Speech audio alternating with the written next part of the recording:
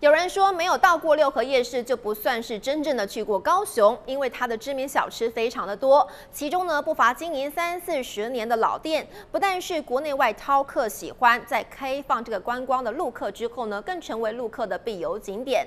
而六合夜市的高人气哦，也引起了对岸业者的高度兴趣，打算呢引进台湾的小吃，在大陆复制台湾的夜市文化。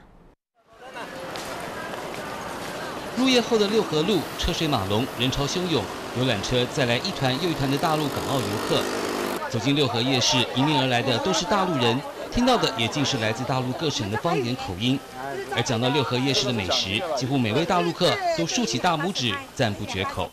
健康不是木瓜鲜奶。你会喜欢六合夜市吗？喜欢，不过就太短了。你们台湾什么都好吃，特别是水果。觉得最好吃的是什么？嗯，这个这个木蛋牛牛仔蛋仔面吧。原产地，我们肯定是到这里来喝这个东西的。那个乌鱼子很好吃，好吃吗？嗯，还有珍珠奶茶很好喝。六合夜市令陆客流连忘返，除了道地的台湾味和人情味之外，这几年来高雄市政府在这里进行的道路和景观美化工程也功不可没。有希望政府都我们给我们加强啊，说那边没有东边那边没有厕所，是尽量找一个地方给游客方便是这样啊。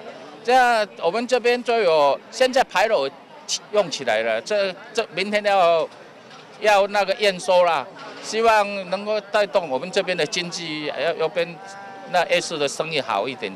六合夜市是南台湾最早的行人徒步区和国际级观光夜市，也是高雄最具代表性的夜市。道地的口味、公道的价格、亲切的服务，让六合夜市雄踞南台湾闻香半世纪。如今更将跨海远征，在大陆复制台湾夜市成功的经验。十月二十六号，还有那个漳州一个万达广场要开幕，我们现在有一百多一百多摊过去。